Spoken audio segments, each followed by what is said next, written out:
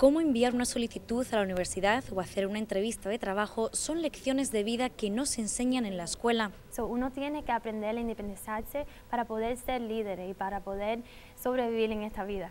Entonces son cosas que lo que van a usar en la vida real yo se los voy implementando y se los voy enseñando desde ahora. Este año, Dislady Alonso, maestra de la Escuela Intermedia Pierce, creó un grupo de liderato en el que estudiantes de octavo grado se convierten en mentores de estudiantes de séptimo y sexto grado. Mucho responsabilidad, sí, pero yo estaba muy feliz porque ya yo tuve que, siempre quería una hermana chiquitica o hermano y esto me da mucha felicidad tener un amigo más chiquitico que yo para que yo lo pueda influenciar en la vida para ayudarlo.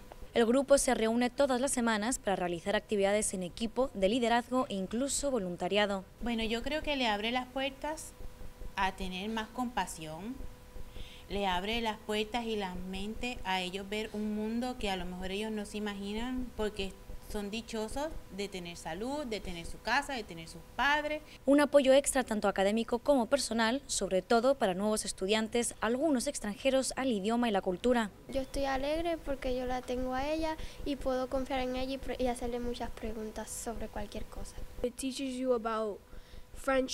Te enseña sobre la amistad, creas un vínculo con estudiantes, te enseña cómo ser líder y cómo ir más allá.